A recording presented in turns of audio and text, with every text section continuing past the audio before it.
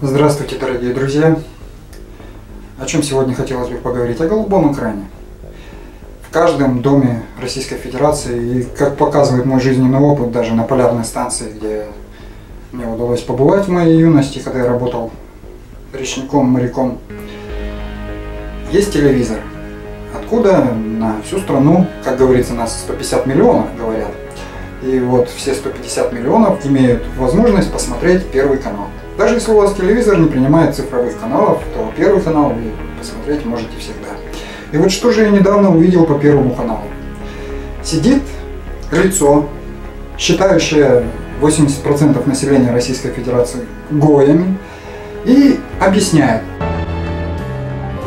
На прошлой неделе моя внучка Маша вышла замуж. Ну, вернее сказать так, оформила отношения, потому что она уже 4 года с лишним а, жила вот с Франсуа, ее нынешним мужем, а, появился ребенок, которому скоро 2 года. Ну вот они расписались. Я там был, это было как раз в городе Берлине, а, в городе, который я, вообще говоря, люто ненавидел, причем довольно давно. Вообще ненавидел все немецкое, кроме, может быть, пива и сосисок. Но сегодня я к этому городу отношусь, в общем, довольно хорошо. И прежде чем Берлин стал для меня, ну, симпатичным, скажем так, мне надо было примириться с ним, примириться с городом, который с самого моего детства олицетворяла, э, олицетворял столицу э, нацизма.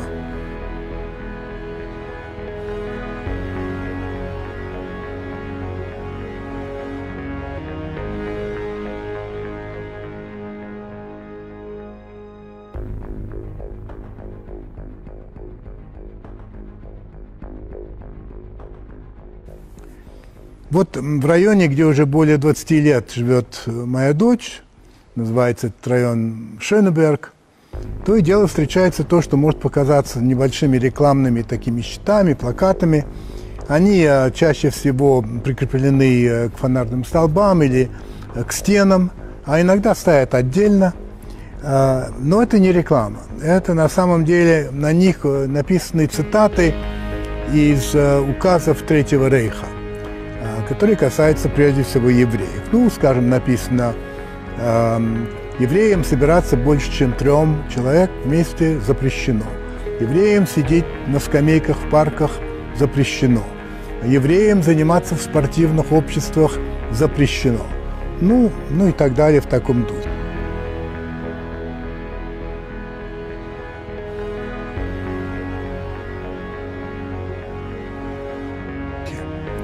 И вот эти вот э, щиты э, – это напоминание о прошлом. И это напоминание встречается в Берлине буквально на каждом шагу. И получается так, что нация признала свою причастность к преступлению и свою вину в том, что она поддержала Гитлера и нацистов. Но признав это, не стала об этом забывать, а постоянно сама себе об этом напоминает. В общем, как мне кажется, это довольно круто, как говорят. Вот сидит этот человек и рассказывает нам, что вот у немцев был, был нацизм. Правда, деды-то наши не знали, что это был нацизм. Они боролись с фашизмом и победили фашистскую Германию. Но нам теперь говорят нацизм. Мы сейчас все по-английски, по-американски. Но амурчане-то помнят, что деды воевали с фашистом.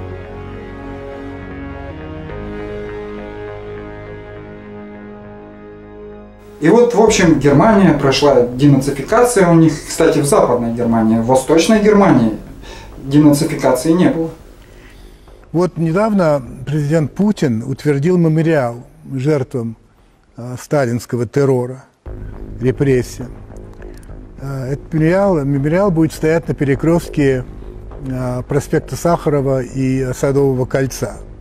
Меня, конечно, это радует.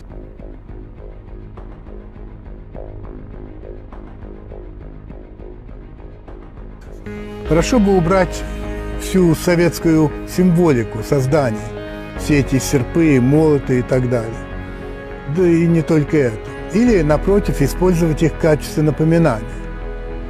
Конечно, мне скажут, а нельзя сравнивать германский нацизм и советский социализм. И нельзя сравнивать Гитлера и Сталина. Но вы знаете, я не сравниваю. Я просто хотел рассказать, как и почему изменилось мое отношение к Берлину. В общем, Познер чуть ли не открытым текстом, а так как у них у фарисеев и садукеев принято, они как бы завуалировано все, как бы быдло-то оно все равно мимо ушей пропустит. А вот я хочу сразу за себя сказать, я вот халиман, это чтобы Познер не думал, что есть люди умные, есть тупые. Я вот халиман, прадед у меня был председателем колхоза тут на Амуре, пока познеровские родители как бы всеми благами не так ненавистного ему советского строя пользовались. Дали ему прекрасное образование. Ну, пусть он за, за рубежом там, конечно. Мы все это видели. Так вот этот Познер в открытую заявил, что советскую символику надо приравнять к фашистской и запретить. Нам товарищ Киселев по Россия-24 говорит о, о ужасах киевской хунты, киевского режима, а тут господин Познер со всей его прямотой заявляет, что то, во что верили наши деды, чушь, ложь, провокация. Так я вот заявляю, что на территории Российской Федерации когда-то была высокоразвитая, высокосоциально организованная цивилизация. Хотите доказательств? Пожалуйста. Вот и вам, товарищ Познер. Мне в руки попал этот артефакт.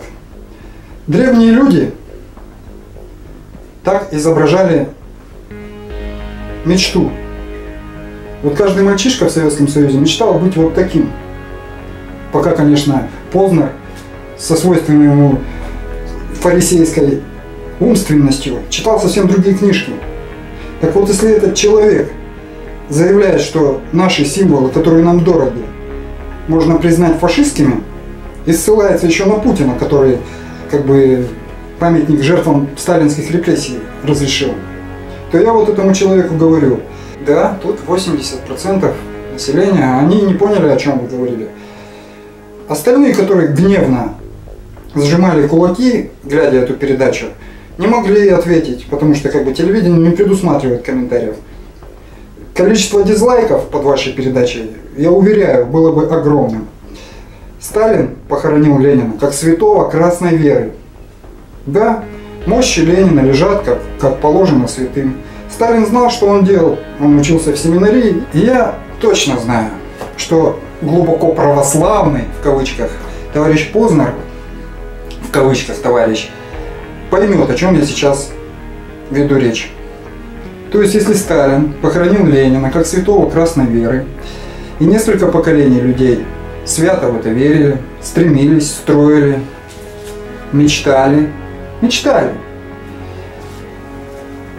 Значит, оскорбление символов этой веры, пусть даже и оболганной, и понятное дело, зачем Ленина мешают с грязью, чтобы народ не читал его книжки. Оскорбление символов этой веры прошу считать оскорблением чувств верующих. Об этом я заявляю открыто сейчас вот на своем канале, в блоге, а к товарищу Познеру, Следственный комитет Российской Федерации, прошу применить меры. А какие меры у нас принимает Следственный комитет в отношении оскорбления чувств верующих? Я точно знаю, что они борются за, за народ. Следственный комитет показал, в частности их руководитель, показал, что ему, им действительно на, на, на народ не, не все равно.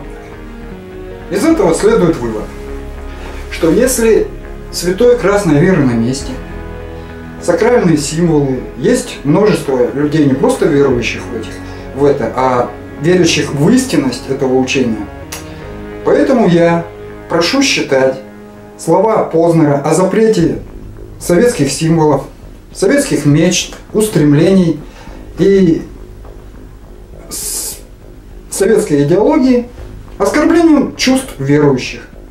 Прошу Следственный комитет Российской Федерации принять меры и разобраться с пробравшимся на российское телевидение врагом Познером Владимиром, который под личиной доброго и умного телеведущего вещает на 150-миллионную аудиторию свое мнение. А свое ли это мнение, если Познер гражданин иностранных государств, входящих в блок НАТО?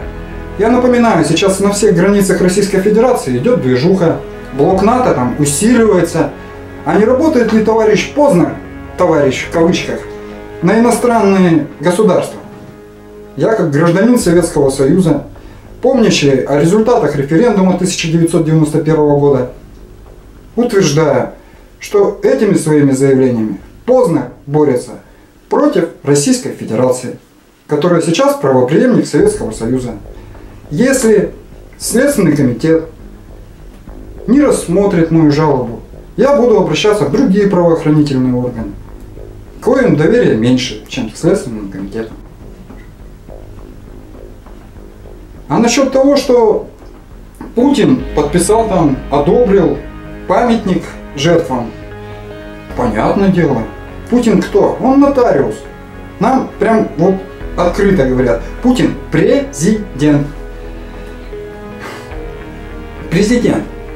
Он не царь, не, не, боя, ну, не князь, он даже, вот, грубо говоря, не генсек. Он просто президент. Он имеет право представлять наше государство перед там, иностранными державами и давить авторитетом. И вот принесли нотариусу документ. Если все в порядке, нотариус обязан его подписать. Вот товарищ Путин и подписал. Потому что он обязан. Во всяком случае, мне очень хочется верить в это, а не в то, что Путин заодно с Познером и другими. А то, что сейчас на Первом канале Познер так себя вольготно чувствует, я считаю недоработкой наших правоохранительных органов. Вот недоработка. Прям вот они думают, что статью за измену Родине отменили. У меня в свидетельстве о рождении написано, что я родился в Советском Союзе, я гражданин Советского Союза. Жена у меня родилась в Советском Союзе, гражданка Советского Союза. Может вы наше свидетельство о рождении, как содержащее советскую символику, поставите вне закона?